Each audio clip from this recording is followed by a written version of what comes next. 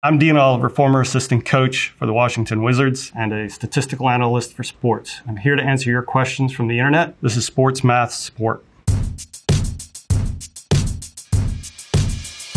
First up, at FWH1027, what is the most efficient shot in basketball? The most efficient shot in basketball is the layup, any shot around the rim. Getting to the rim not only is a higher percentage shot, it will more likely get you to the foul line, which players make at about 75 to 80%.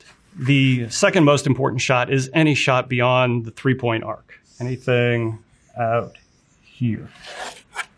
Shots out here are made at about 35%, but because of the extra point awarded for being beyond the arc, they are more efficient. At NBA ADED, statistically speaking, who is better, Jordan or LeBron? Frankly, Michael Jordan was probably a little bit better defender. LeBron is a little bit better passer than Michael Jordan was. LeBron adopted also the three point shot a lot earlier than Michael Jordan did. But all in all, they are almost the same. At Womax asks, what studies do you do to become a sports statistician? That is a good question. This did not exist when I was a kid. Having a career where you get to do math in sports is a great innovation of the 21st century. That being said, it's not the easiest thing to get into anymore. In order to do it, you really need to know sports for sure. Sometimes people forget that, but you also need to know things like programming with a language like Python. You need to know things about statistics, basic statistics, or a little bit more advanced that will only help you because this is an interdisciplinary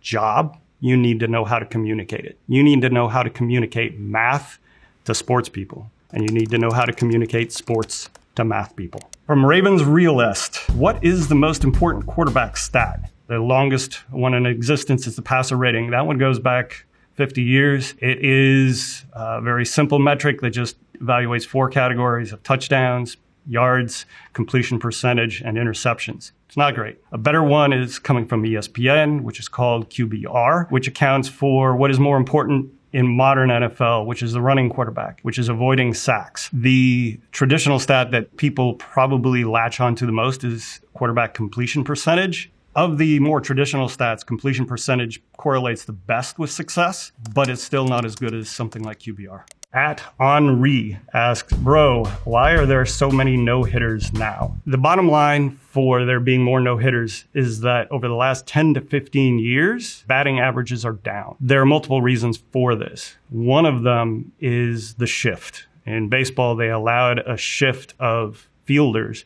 to go basically wherever you wanted to. When they studied the data, they knew that some players hit the ball in certain areas more. So if you put more fielders in that area, you get more outs. As of this season, 2023, the shift was made illegal to limit some of the ability of a defense to shut down a hitter. The other reason, probably, they manage pitchers differently. The pitchers don't go and throw a complete game nearly as much as they did. So you're seeing a lot more combined no hitters. 20 years ago, that wasn't happening nearly as much. It was all one pitcher doing the whole thing. When you have multiple pitchers, they come in, they're fresh, they have a better chance to shut down a hitter. Moving on. At Max Sports Studio asks, hypothetical. A player is fouled at the buzzer. He gets to shoot two free throws. His team is down by one. Is the probability that he makes the second shot affected by the outcome of the first free throw?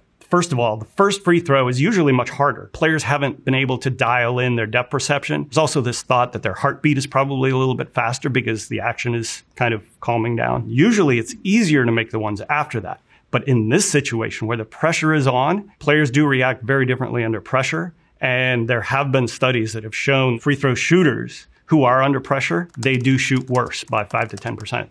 At Kukui Online asks, does defense really win championships? In basketball in particular, what you see is that offense carries teams through the regular season. What happens when you get to the playoffs is the best teams know how to ramp up their defense. They are playing better offensive teams, but they know how to strategically defend those teams, take away the best players. That is the way in which you see defense winning championships. Defense doesn't win championships on its own. Next up, Quora user asks, how is Messi better than Ronaldo in stats? The best measure we have for soccer performance for individuals is goals. It is not the best thing that could be developed. But over the years that Messi and Ronaldo played, it is what we have. At Nikki Numbers asks, Did you know that former Yankees shortstop Derek Jeter was a below average fielder? The numbers prove it. Derek Jeter was not as good as his reputation because some of the stats said that he gave up a lot of extra runs on top of what other shortstops would do. Won five gold gloves because when he got to a ball, he was pretty good at making the right throw, making the right read, but his ability to get to the ball was much more limited. His range was limited, and that mattered a lot at KTizzle512. How exactly is an NFL spread calculated and what all goes into calculating the spread? There is a lot of mathematical calculation that goes into a spread, including what players are going to be available, where the game is going to be played, whether the weather is going to matter, wind, rain, all of those sorts of things, who the refereeing crew is going to be. All of these things have tendencies for affecting the spread. That is how an initial line can be set. But what happens because the NFL has bet so much, a lot of the gambling houses, is they just try to split the pot. So at the end, they're just trying to make sure they have 50% of the people on one side of the line and 50% on the other side. At Elite Dog 03 asks, What is true shooting percentage? I've been hearing it, but what is the official way to calculate it? True shooting percentage is just total points scored by a player or a team divided by the shot attempts they've taken which is a combination of field goal attempts from the field and a fraction of their free throw attempts. It's more representative of the actual contribution of a player because it captures how many points a player is getting from their field goal attempts. So if they're shooting a lot from three, it's capturing that efficiency over someone who takes a lot of twos. And it's capturing their ability to get to the foul line, which can be enormous for players like Jimmy Butler or Giannis or LeBron. A Miller 10 asks, when are stupid ass people going to realize that pitcher wins are a meaningless stat that shouldn't be used to decide anything? A pitcher win loss record actually tells you something, which is winning and avoiding losing. But it doesn't get at all the details very well for what a pitcher is doing. It doesn't get at their ability to throw strikes. It doesn't get at their ability to limit the opposing team's hitters. So it's missing important details, but it's getting at something important. At RELLDMC. Have running backs ever been less valued in NFL history? It is true right now that NFL running backs are being devalued. Probably rightly so. Whether they've gone past where they're getting devalued too much, I don't know. The reason they are getting devalued is because we're recognizing that the offensive line matters a lot in how many yards those running backs get. So the credit that those guys used to get as superstars they're not getting quite as much of as they used to. So yes, they are getting devalued and probably rightly so. Moving on. At King DJ 5297, I'm supposed to believe that advanced stats work for the NBA. Yes, advanced stats work for the NBA probably better than other sports. For instance, there are team offensive ratings and team defensive ratings, which are how many points a team scores and allows per 100 possessions. That is a very accurate representation of how good an offense or a defense is. The NFL has maybe 14 drives for a team in a game. Baseball has maybe 40 at bats. In basketball, you have probably 80 possessions where you have the best players able to touch the ball and able to shoot the ball. So you get a very good representation of how good teams are at Daw Black. You can measure nearly everything statistically. How do you statistically measure an offensive guard? In football, I presume. In the NFL, we have an immense amount of data that tracks where all the players are on the field at every point in time, which direction they're facing, and so forth. With all of this data now, you can actually measure how well offensive guards, for instance, block. How well can they win the block against a defensive player?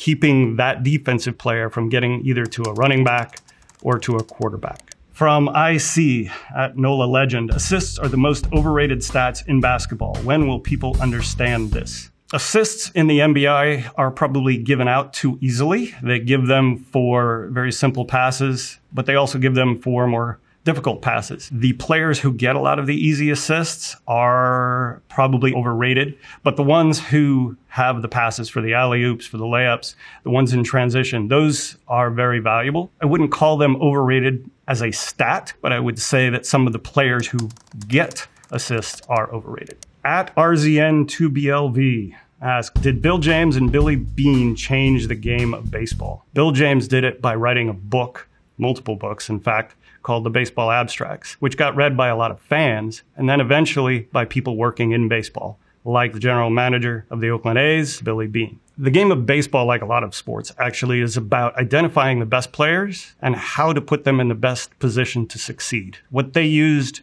is data to help make those decisions. A particular statistic that they recognized as undervalued was walks or on base percentage. The fact that walks get you on base on top of getting a base hit is something that was not appreciated by traditional Major League Baseball. They did that behind the scenes and gained a, major advantage. Next up, Reddit user 360 asks, what statistics are most important in the NBA? It's not things like points and rebounds and turnovers and assists.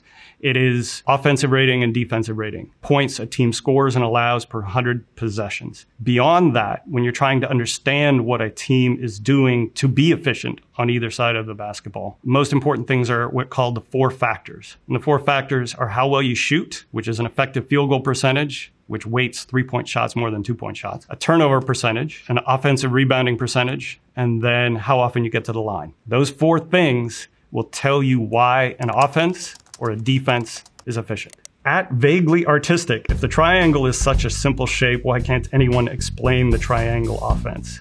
I'm not going to explain the triangle offense here. I can tell you that. The triangle offense is successful only with a couple coaches, frankly. It's, it was successful with Phil Jackson with the Bulls and with the Lakers. You are creating good shots for good players and good shots for even average players who are there to set screens and just play off the ball. And what it does is it relies upon the strengths of the players themselves to make decisions. This is a good one. Ihoichi. Is red zone efficiency a good efficiency stat? The red zone efficiency is how well an offense does within the last 20 yards of the field. Red zone efficiency is useful. It is uh, predictive to some degree, and it explains the success of teams. Teams that are very good at it, they will be better offenses, and teams that are bad, they will be worse. But is it perfect? No, just like pretty much every other NFL statistic.